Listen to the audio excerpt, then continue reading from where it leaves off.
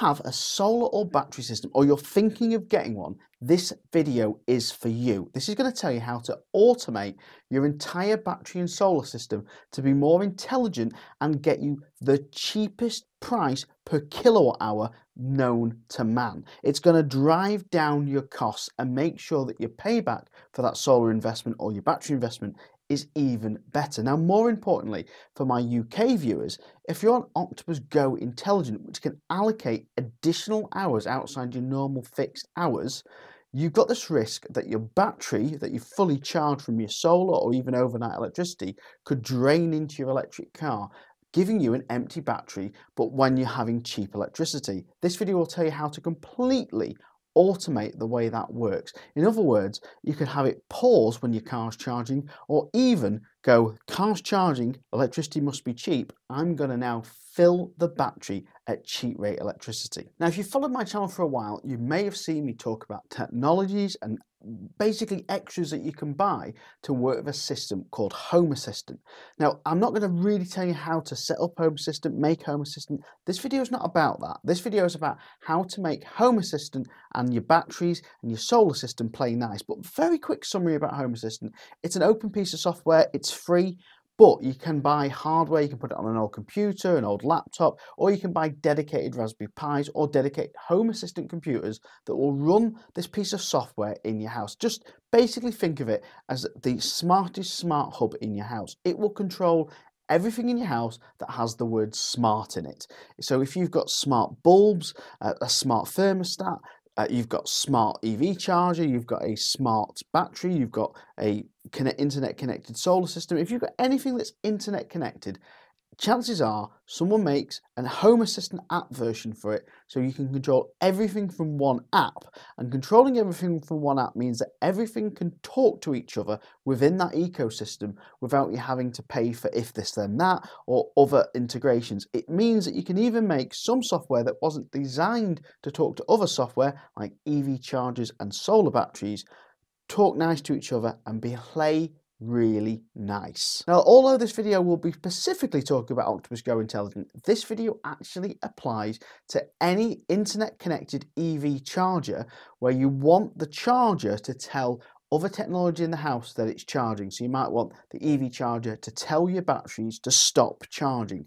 In this example in this video though, we're going to actually want to charge the batteries because when Octopus are charging the car, you're going to get 7.5p electricity at the time recording this video, meaning that you can charge your batteries really cheap, keep them full, but also mean that that battery is not being discharged into your EV. Now, Octopus Go Intelligent is at the moment one of the cheapest energy deals I can find for EV drivers in the UK. If you want to sign up, go to evnick.com forward slash energy. If you go there, sign up, there is a code to split a £100 with me when you sign up. Now, Home Assistant might seem very complicated at first, but trust me, it's not that complicated. It's basically, think of it as a mobile phone where you can download apps and those apps can all talk to each other on your mobile phone. So what you need to do is there's plenty of guides on the internet if you can't find certain apps and you're wondering how to install certain apps. There is loads of youtube tutorials. Just follow them you don't need to be a computer whiz kid. Just follow the videos and if you follow the videos you'll get it. But first one you want to download is one called HACS which is the home assistant community store. So some of them will already some of the things will already come pre-built. These are just basically apps that the community have built to work and one of the apps on the home community store is an app called Octopus API. You download that, use the API key in your Octopus account. Again, there's guide talking people how to do this. It's very, very simple. Just follow them step by step. You get your Octopus code, API code out of your dashboard you put it into the Octopus Home Assistant app, and then that can read your Octopus data. It can see everything that Octopus can see, everything that you see in your app can be seen, and it basically talks intelligently. Now, this is very important for certain chargers because certain chargers will tell the Octopus API that they're charging, hour slots have been put in. If you have an Ohme charger, it works slightly different, and we'll get to that in a minute. But let's first talk around which apps you now need to download once you've got the Octopus part because you next need to find the app for your certain brand inverter. So if you've got Solax inverter, you've got um, uh, an alpha battery like mine, you need to go and find the following apps for that. Now they may be on the official store for Home Assistant or they may be on that HACS store, the Home uh, community store. So have a quick look, see which one it is, download those apps, follow the guides if you're wondering and you get struggling how to how to get that inverter app set up because some of them are more complex than others. Some of them are dead easy, like enter your username, enter your password.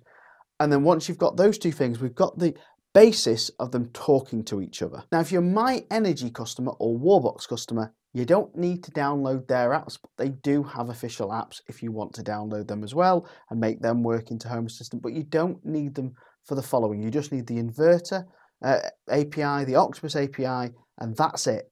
Once you've got that, you can make the following tools. So skip further onto the video. There's a timeline down below and then you can make the rest of it work. But you can download their apps as well. If you have an Ohme charger or you're on another brand of charger because you're on an OVO tariff, then keep following down the video. We'll try and talk you through what you need to do next. Now, really important, if you've done this for your brand of inverter or charger, I'm going to put a pinned comment with instructions. So basically in those instructions, if you've got one, just write down what inverter you've got and how you do it because my example here is going to be for the Alpha ESS battery and my Ohme charger. So if you have a different setup to me and you've made it work, then just write a little detailed guide under that pinned comment and I'll make sure that everyone can see it. And I might even write a blog for it on evnick.com so everyone can sort of see how to automate this. Now, what you're going to have to do now is go into your inverters app on Home Assistant and find out how that inverter app can be set to change the hours of when your uh, inverter charges and discharges. There'll be guides and documentation on basically commands that you need to automate that to basically say charge or stop charging. And this is the most important part and the most complicated part you need to read.